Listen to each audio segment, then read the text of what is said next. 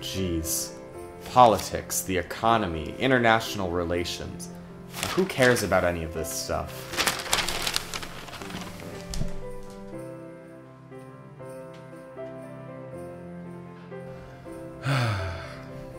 if only there was a news outlet that gave me the information I needed. Stories about the Nutcracker at the Hanover, and ugly sweaters, and local bakeries. Perhaps someday there'll be an ETS show that does just that.